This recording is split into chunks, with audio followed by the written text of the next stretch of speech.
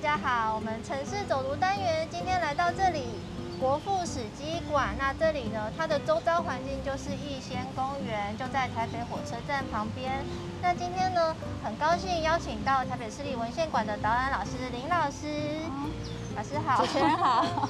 那关于这个地方，听说呢，国父孙中山先生之前有来这里住过，所以他这边是一个历史的场景。那关于这里面的历史故事呢，就要请林老师来为我们带来专业的解说。那就麻烦林老师可以跟我们讲说，今天我们这个这里好像有一个以前它是不是叫做逸仙公园？是的，没错。呃，这里呢的历史故事可以追溯到一九零零哦，它在当时是日本时代一间非常高级的料理亭，叫做梅屋夫。那梅顾名思义呢，就是因为它在这个园区里面呢有种了很多的梅树。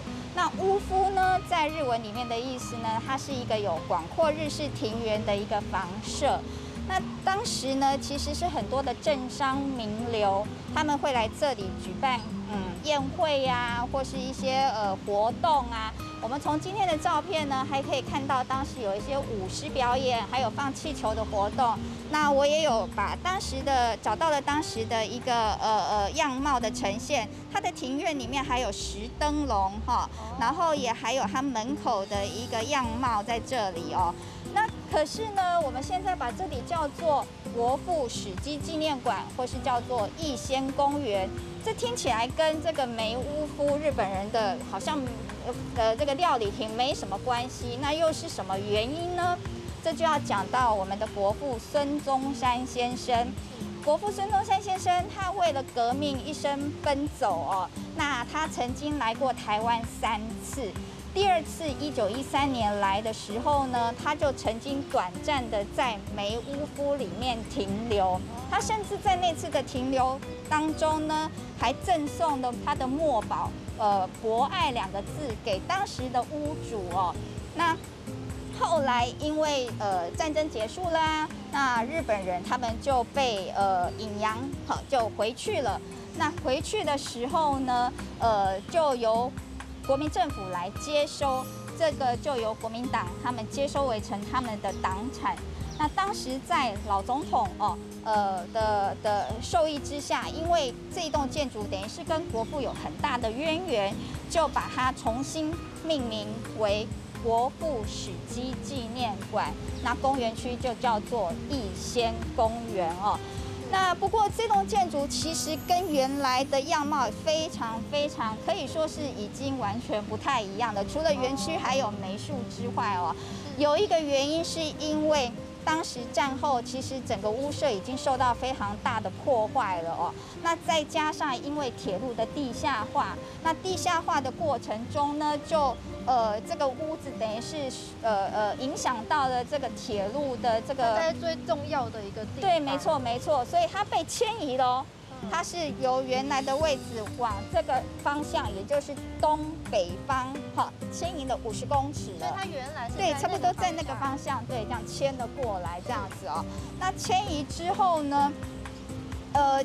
这个庭院呢，也变成看远方会有一个红色的，其实是中式的凉亭了，就已经不是日式的一个一个庭院了。而同时建筑呢也缩小了很多哈，也其实也是一个重新可以说是重新建的一个的建筑了哦。只是它在建筑里面哦，它放了很多跟国父有关的文物、墨宝等等的哦，所以它还是有它的一个价值存在。这个建筑是从原本的五十公尺外的地方，呃，它一整个移过来吗？呃，其实它是。改建了，就是建对，那只是呃，已经不是原来的了，对，是，对，可是样式还是尽量对，尽量造原，对，没错，对，某一个部分这样子，对，那呃，其实呢，不过有一点我倒是觉得还不错的，就是它还是种了很多的梅树，它还是保持的当时可能那个梅树庭园的感觉，所以像现在大家仔细看，还是有一点梅花。在开有没有？所以这个季节来到的时候，今天很可惜是因为下雨，要不然的话，在这里进来的时候是可以闻到阵阵的梅香。对，而且你想想看，这里呢是离台北车站非常的近，是一个台北市最繁华热闹的区域，可是却在这里有一个闹中取静的的的花园在这里哦，是非常不错的一种享受。那另外我们还要提到一个很特别的，就是其实在当年大家都会说，呃，这个这个这个梅屋夫当年是有艺妓陪陪侍的一个呃一个料理屋。那这个艺妓呢，其实。在当时，这个算是普遍的一种文化，就像我们的台式酒楼里面也有所谓的艺旦陪侍啊，像现在的大稻城地区就有所谓的当时的四大酒楼就有所谓的艺旦陪侍。那这些艺旦或是艺妓呢，其实他们基本上是卖艺不卖身的，而且是要从小就要受非常严格的训练。有艺伎可能就是他要懂。舞蹈啊，哈，日式的那种传统舞蹈。那像我们的艺旦呢，他要懂得弹奏呃曲乐，然后他要呃会诗，会作诗，会作词等等的。所以不只要长得漂亮，还要很多才多。对，要多才多艺。可是这些女性说起来，她们也是蛮心酸的。因为当时那个年代是不重视女性的，所以这些女女性可能是从小因为家境的关系被卖到所谓的艺旦，以艺旦来讲就卖到了艺旦间去，然后受老师的这样子的培训，这样子的起来这样子的哦。那呃，不过在那个年代，这就是呃台湾社会的一种生活、一种文化这样子。那我今天还带了一本书，叫做《玉大典的台北六十余丁案内》哦。那这本书是在呃昭和的呃三年，也就是一九二八年的书。那这本书有点类似我们现在的《工商名录》哦，它里面详细记载的那个那那一年的时候呢，台湾的呃就是台北，好，台北的这个商店名称，那甚至官署啊等等他们的呃名称，然后负责人，甚至有呃呃他的住址等等的。那很有意思的就是在这个栏位，大家有没有看到？它有一个台北。简翻艺妓名簿里面就有梅屋夫，里面就有把梅屋夫里面的艺旦呃艺妓说错了艺妓他们有哪一些，然后名字、他的艺名、他的花名、本名呃本名都列出来哦，所以是蛮详细的、蛮有意思的一本书。那有兴趣的人也可以去。呃，来参考啊，这本是蒋渭水文化基金会出版的哦。那有兴趣的人或许也可以去搜寻哈，再去详细研究，里面还有更多有意思当年的故事这样子。是，那我们这里的介绍大概就是这个样子了。好，谢谢老师为我们这个点做导览。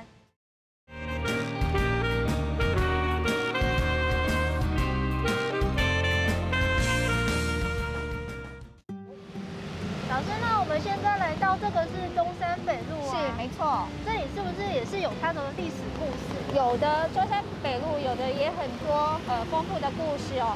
它是呃可以说从日治时代一直延续到国民政府的时代，在在是台北市内非常重要的一条呃有关政治方面的一个道路哦。那我们就从日本时代开始说起哦。是，呃，如果我们看中山北路的直线的话。这一端其实一直延伸中山南路过去呢，就会离现在的总统府还有台北宾馆很近。那总统府就是以前的总督府，台北宾馆呢就是以前的总督官邸。那往北呢，直直下去呢，就是到达了圆山。那圆山呢，其实在日本时代，一九零零年的时候呢，一九零一年的时候呢，就盖了一个很重要的神社，叫做台湾神社哦。那这个神社呢，我们就要先了解一下它的背景。这个神社是主要的祭祀的是日本的一个亲王，叫做北白川宫能久亲王。那北白川宫能久亲王呢，他在辈分上来讲，就是当时的明治天皇的叔辈。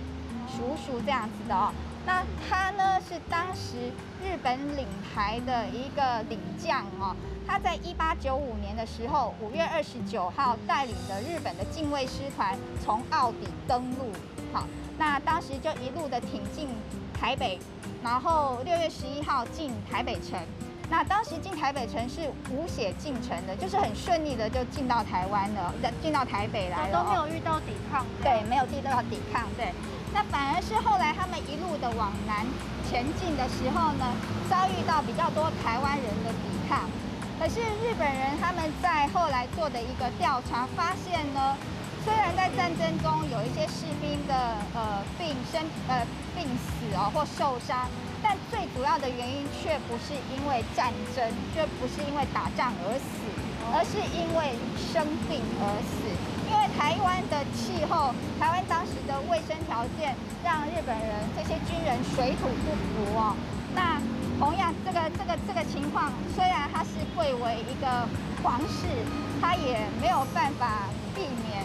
所以北白川宫能久亲王，呃，他应该就是在这场在在这场这个征台的时候呢染疫，然后就离世了。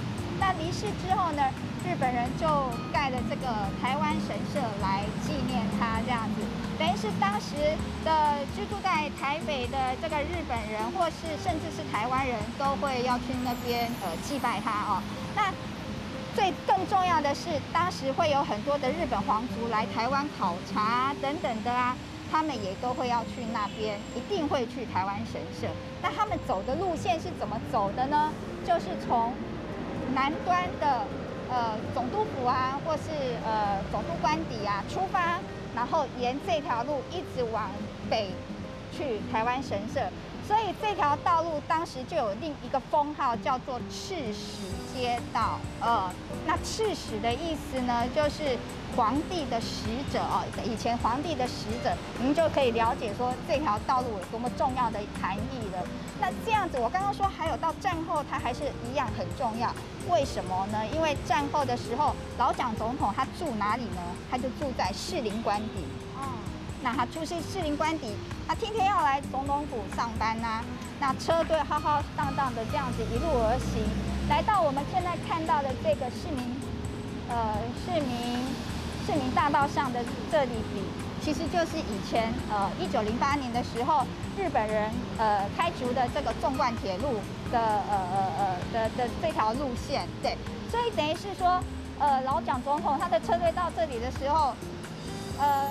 火车不可能为他而停让路，所以他时常就要在这里等灯等等火车通过。那这样可能会增加他的呃安全上的呃风险，也是呃可能增加他上班时间。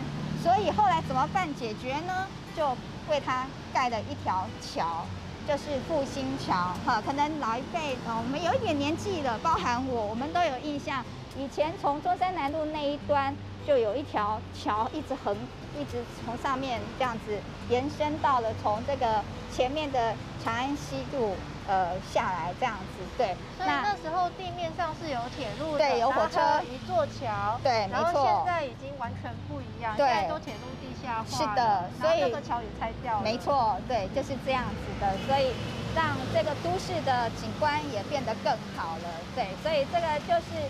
当时的呃中山北路的一个故事，呃，是大概就是这个样子。哇，所以赵老师你说的，就是其实在当时就是有，这就真的就是一个政治上的一个交通的要道。对，没错。那也因为政治而衍生了两边很重要的，等于是一个生活空间的这样子。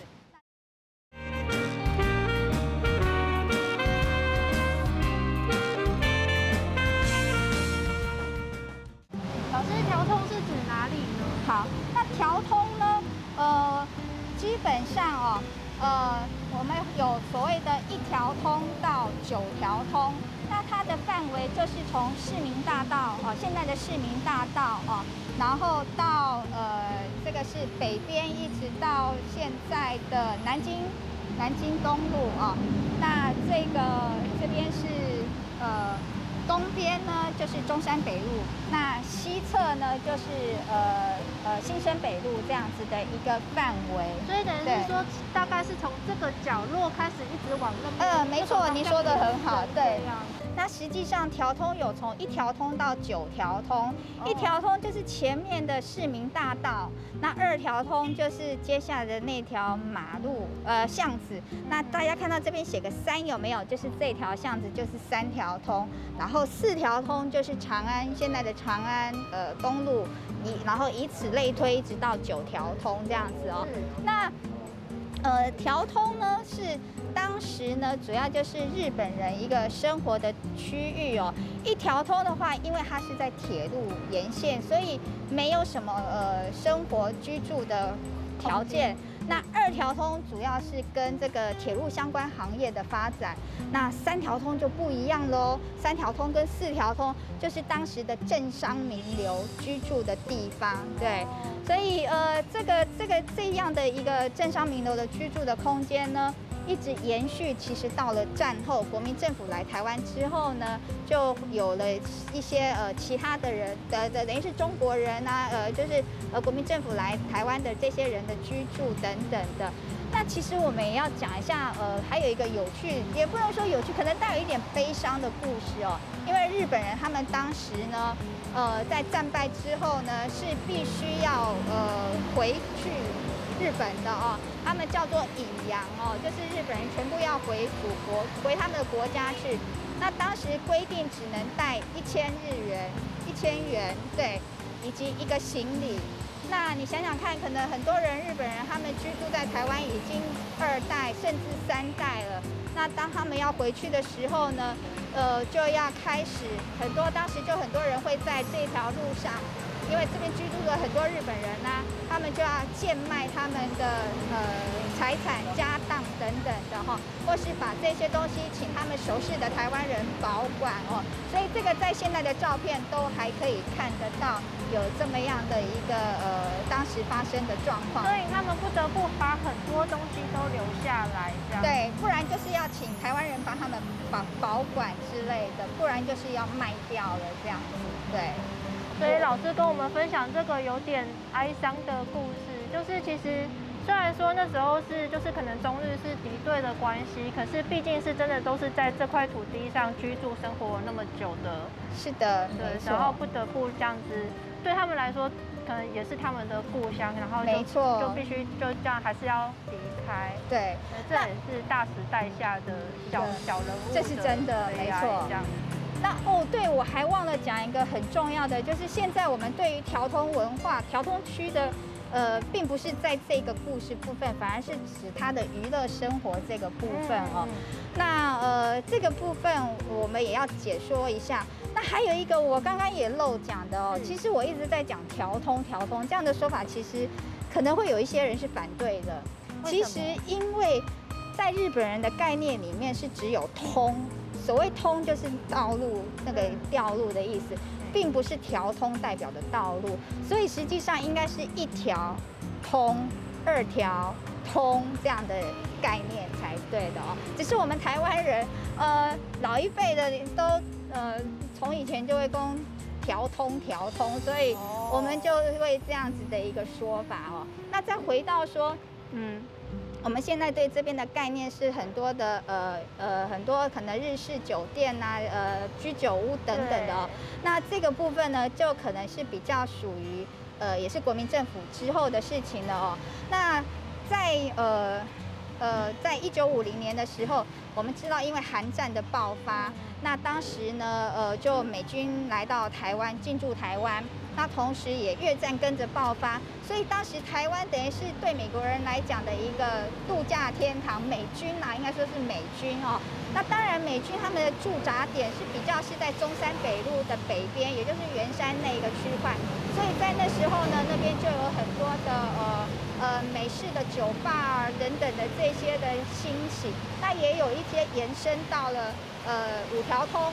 那那个范围去，就是需求量很大，就对，没错。那可是后来，呃，一九八零年代、七九八零年代，美国因为呃也跟我们断交了啊，那美军也都要离开台湾了啊，所以对美军的这个原来的这个美金需求就就就没了。不过也就在这个时间的时候呢，因为日本人他们。呃经济起飞了。那起飞之后呢，他们也重回台湾来投资。那很多日本人也就回到了台湾。那他们就回到了这个，等于是他们过去有一些熟悉的一些环境里面的。那在这里呢，就变成了又是。美国人的离开了，换成日本人来了。那日本人的居酒屋啊，日式的餐饮业啊，就在这个区起来了。这样，所以日本人会再来到这边，也是因为说之前日据时代在这边已经有一段，就是有有有做过一段时间的关系，然后就是可能有相关的建筑啊这样。对，可能有关系。之后经济繁荣了，才会在这一区又重新因为日本人，然后又繁荣起来。是的，也有一点对，当然就是。还是有，因为这里当时三条通、四条通就是高级住宅区嘛，所以这里一直保持着有那样子一个氛围在。对，那所以四呃五条通过去之后，那边也就有呃后来也真的呃更多的是属于娱乐层面的那个部分的起来这样子。是了解。嗯，哇，所以其实今天听老师分享这个条通的故事，其实真的就是可以就是。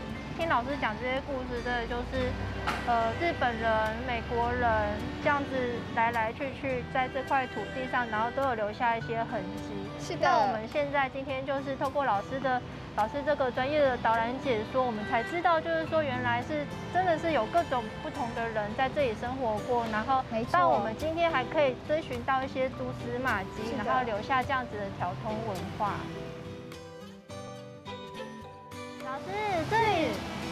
带我来这里，这里是银行哎，你看这里都没有什么，看起来都没有什么历史建筑啊。对啊，这里边感觉都很现代化，对不对？对啊。可是在这里过以前是很有故事的哦。这条长安东路就是以前的四条通。那我刚刚有提到四条通以前都是高官名人居住的地方，对不对？对。所以你看到这一栋呢，其实就是以前华南银行。当然呢，这是以前是一个日式的一个有花园的大建呃的的的建筑哦。那以前是华南银行董事长的官舍，所以它是在四条通上面。而它的后面呢，三条通就是华南银行的总经理的官舍。然后在国民政府来台湾的时候呢，这里就成为了蒋经国的官舍了哦。所以广经国大概是从一九五零年代一直居住到一九六九年左右，都是住在这里，跟着他的夫人还有他的小孩。但是到后来，因为这个长安东路要拓宽了。所以他后来，我们现在比较熟知的，他是住在七海寓所大直那边，有没有？这就是在在还没搬去大直之前，他就是住在这里。所以老师，你说这里以前有一大片花园？对，就是传统的日式的那种洋呃日式房子，这样子非常大一片。然后现在都已经整个砍掉重练没错没错，就盖商业大楼。对，没错。那包含像对面也是啊，对面那边呢，在一九。呃，一九二零年代呢，也是当时美国领事馆的呃呃的的的位位置所在。那我们今天可能比较知道的是，呃，在呃中山北路上有一间叫光点台北，对，那里呢是就是以前日本时代的美国领事馆，但是那就是在差不多一九二六年，美国领事馆才迁到那边去。在更早之前，其实美国领事馆是在这个位置，呃，就在对面。哦，大概那个范围位置那那个都是很大一片哦，不管是这个官舍或是领事馆哦，都是很大一片的土地这样子的一个建筑。对，但是老师你不讲，我们就这样子路过，都不觉得这里有什么特别的。是啊，我以前其实也在这附近上班，也都不知道，是因为现在去读了一些历史文件，才发现哇，原来这边是这么有故事性的。对，真的。那其实。就像真的要老师你知道的人，然后才我们跟我们讲，我们才知道说原来这里以前也是有一些历史建筑。是的。那像现在这样子商业大楼，真的是完全就是不留痕迹，看不出来了，很可惜哦。对，是是是。好，谢谢老师特地特地带我来到这里，我本来以为说这里没。这到底有什么特别的？原来是还有最后还有这样子一段历史。对，不过也很可惜，就是我们现在只能凭的呃自己去想象那时候可能的样貌，那只知道说它原来的位置是在哪里而已，可是完全看不到原来的建筑样式。不过也正如老师你说的，以前这这一带就是一些官商名流，就是就是重要人物住的地方，这样。那也这，那现在你现在的这样子的建筑的状态，也只能从那个历史的书籍上面查得到资料了。好，谢谢老师。不会不会。